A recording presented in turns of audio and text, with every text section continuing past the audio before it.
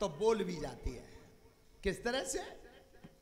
जब सीता जी आराधना कर रही थी भवानी मैया के सामने, तब बिना प्रेम बस भैया भवानी।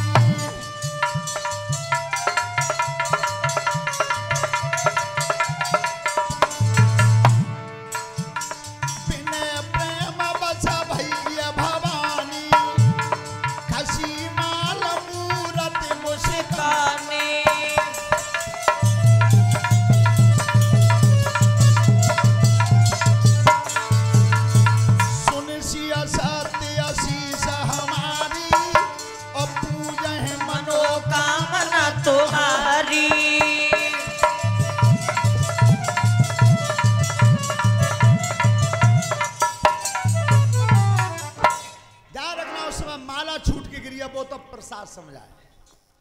और कान में आवाज़ आई है कि सुन सिय सत्य, आशीष हमारी और पूज है मनोकामना। तुम्हारी इच्छा अवश्य पूरी होगी। सीता जी लौट गई। और जिस समय आज भवानी मैया ने विचार किया कि राजा जनक के यहाँ बड़े बड़े वीर महारथी आए अगर और किसी के हाथ से धनुष टूट गया तो मेरी बात झूठी हो जाएगी।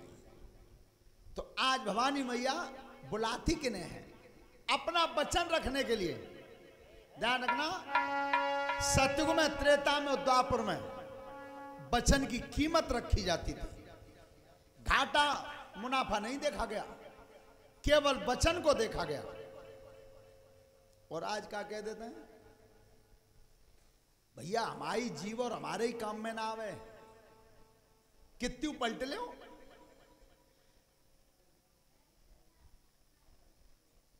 और ये व्यासपीठ के माध्यम से हमारे परीक्षित महाराज जी ने सौ रुपए का पुरस्कार दिया है हमें। परमात्मा सुख समृद्धि देता रहे, धन्यवाद। तो जैसे ही आज मैया ने विचार किया तो बुलाया कि ने सुनो ऋषि, धरे ध्यान। अरे बचनते पर गयो भेटाए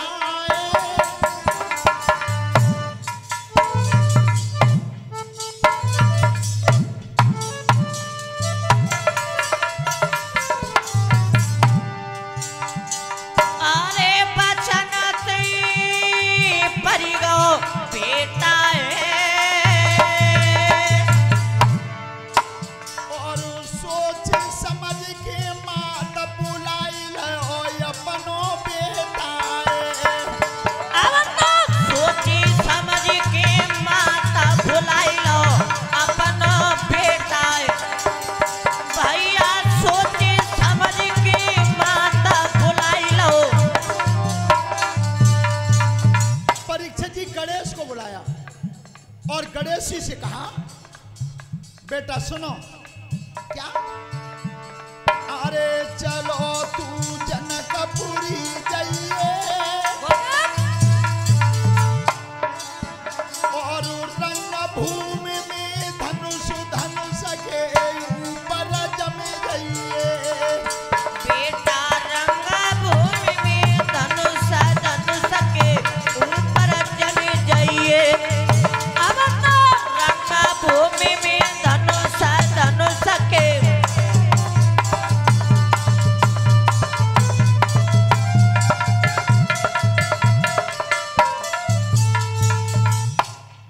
के ऊपर विराजमान हो जाना।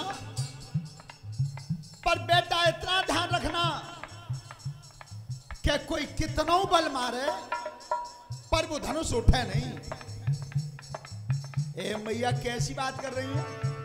एक एक की तो बात ही का बे सबरे मिलके उठावे, तब भी नहीं उठने दूँगा। जैसे ही गणेश जी चले और तब महतारी फिर बोलिए।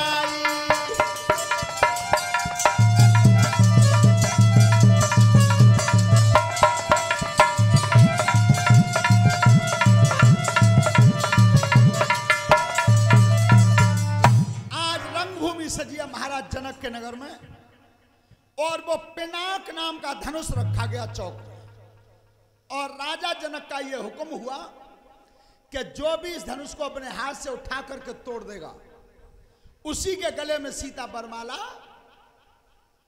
सब राजा आ रहे सज सज के। ध्यान रखना, कछू तो तोड़बे के चक्कर में कि शादी है जा भाई, और कछू जो हमारे कुमार साहब बार पाते गई चक्कर में। कोई करे हो तो कचरा दावत तो खाई आएँगे किस तरह से? अरे विशाला।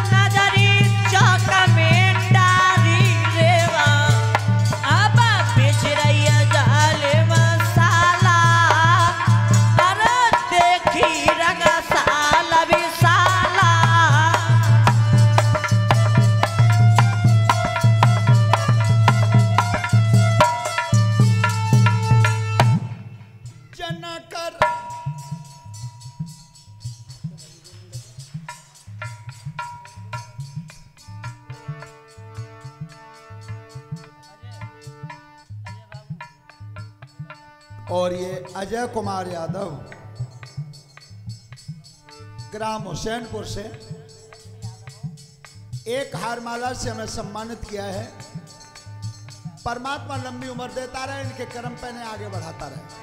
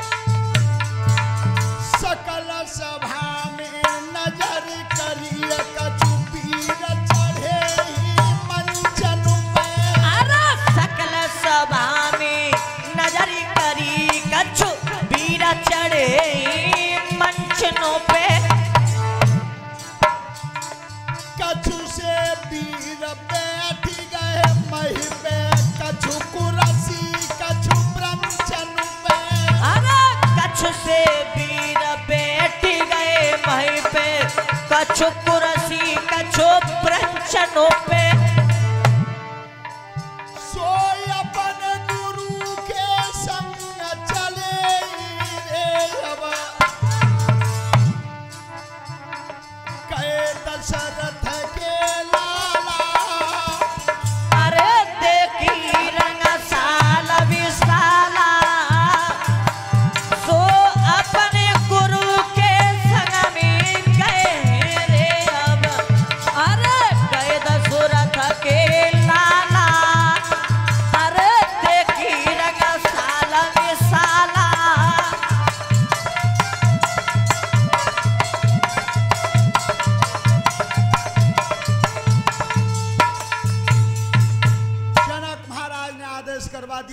धनुष को उठा करके तोड़ देगा, सीता उसी के गल में बरमाला।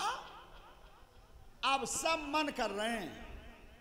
वो मन में कह रहे हैं कचियो भाई बोले बार तो बोलेंगे हे भगवान, हे परमात्मा, गंगा जी नहाएँगे, सब दही देवता पुजवा देंगे, सोमवार खीरी चढ़ा देंगे, मोई पर टूट जाए। अब जिन आए मालूम, सब देवतन को, देवतों तो बाई में क्या नंबर आवा कहा? का तोरे का सके उठाई तिलवर बार न सके छुड़ाई। हिला भी नहीं। और जब पूरा समाज बलहीन हुआ है, और सब अपने अपने आसन पर बैठ गए थे तो गोस्वामी जी ने क्या लिखा है फिर अपनी कलम से? अरे शेष भूपद ये कई